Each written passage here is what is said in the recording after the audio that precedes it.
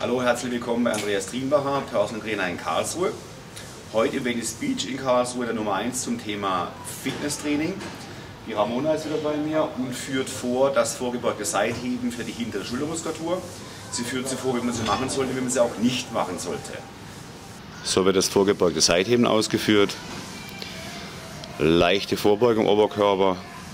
Darauf achten, dass der Oberkörper stabil bleibt, ohne große Zusatzbewegungen aus dem Oberkörper arbeiten, unter Belastung ausatmen und leichten Winkel im Ellbogen. So, das vorgebeugte Seitheben mal aus einer anderen Perspektive. Wie man hinten sehen kann, der Rücken sollte natürlich äh, gerade sein, leichte Vorbeuge, aber gerade, mit einer Beckenbodenspannung arbeiten, Brustwirbelsäule ist aufgerichtet und dann eine gleichmäßige Bewegung ohne zusätzlichen Oberkörperschwung zu holen, sodass die Last natürlich auch in der hinteren Schultermuskulatur hauptsächlich eingeleitet wird und nicht über den Rücken abgefertigt wird. Vorgebeugtes Seitheben aus einer ganz anderen Perspektive.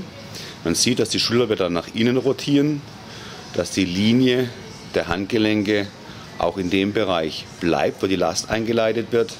Schöne, saubere, langsame Bewegungsausführung, sodass die Last natürlich auch korrekt dort ankommt, wo sie hin sollte. Und natürlich unter Belastung ausatmen. Sehr schön. So, und das ist natürlich die Variante, wie man es nicht machen sollte, wie man aber häufig sieht. Wie man sieht, die Wirbelsäule ist natürlich gekrümmt, ähm, dann natürlich keinerlei Spannung im Körper, der Kopf natürlich noch ganz stark aufgerichtet, was natürlich beim Umlenken der Last über die Halswirbelsäule abgefertigt wird. Bitte so das vorgebeugte Seitheben nicht ausführen. Das war's zum Thema ähm, Training, funktionales Krafttraining im Venice Beach in Karlsruhe. Der Nummer 1 zum Thema Fitnesstraining. In Kürze geht es bald weiter mit Ramona, mit äh, Angie, der Geschäftsführerin von Venice Beach. Ihr werdet dann im Laufe der Zeit den kompletten Maschinenpark Venice Beach durchhaben, sodass ihr die Möglichkeit habt, euch über einen Clip zu informieren, wie man die Geräte richtig bedient. Das war's. Andreas Thielbacher, Personal aus Karlsruhe. Deine Fitness, meine Aufgabe.